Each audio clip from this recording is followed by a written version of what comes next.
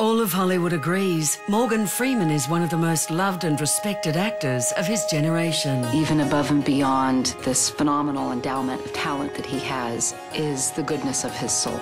He doesn't let anything get in his way, whether it's pain or anything else. Gravitas. Gravitas. Oh, yeah, he has gravitas. You know, here I sit, Mr. Gravitas. But this path to greatness was far from smooth.